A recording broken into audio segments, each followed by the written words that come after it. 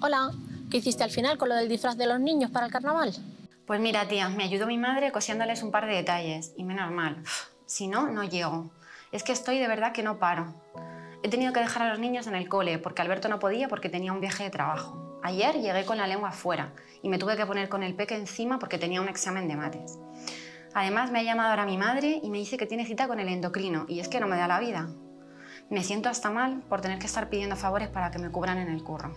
¿Qué me vas a contar si yo estoy igual? Seis de cada diez mujeres se sienten culpables al ejercer como madres por no llegar a todo.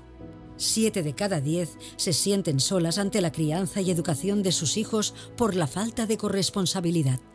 Cuatro de cada diez mujeres afirman que han tenido algún trato discriminatorio de su empresa al convertirse en madre. No siempre yo.